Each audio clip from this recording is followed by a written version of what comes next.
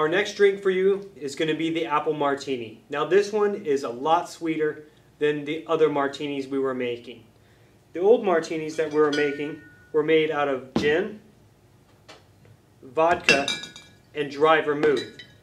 For our apple martinis, what we want to do is we want to take out the gin and the vermouth. The reason is those have way too much flavor and they're going to give our sweet martinis an off taste. What we want to use here is always a vodka. The reason is vodka is real versatile and it picks up any flavor that we're putting into it. This is what makes it so popular. So let's go ahead and start making our apple martini.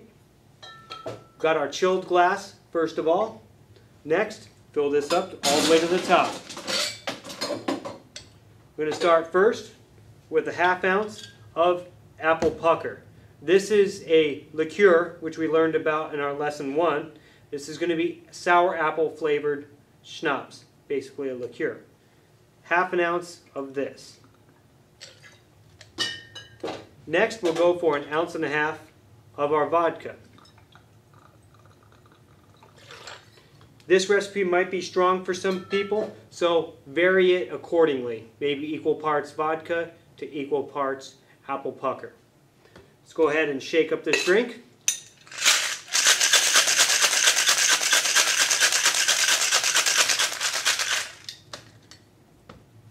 What I'm going to do next is pour out my ice. And then what I'm going to use here is apple flavored sugar. This sugar around the rim gives my drink a nice sweet taste. Tastes like crushed up Jolly Ranchers on the side of the glass. It's all ready to go. Got my nice garnishes. If I don't have an apple slice, what I'm going to use is a cherry. It's sweet, it looks nice, and it goes great with the colors of this drink. So we got our sugar, our cherry. Now we're going to pour out our vodka and apple schnapps, or apple pucker.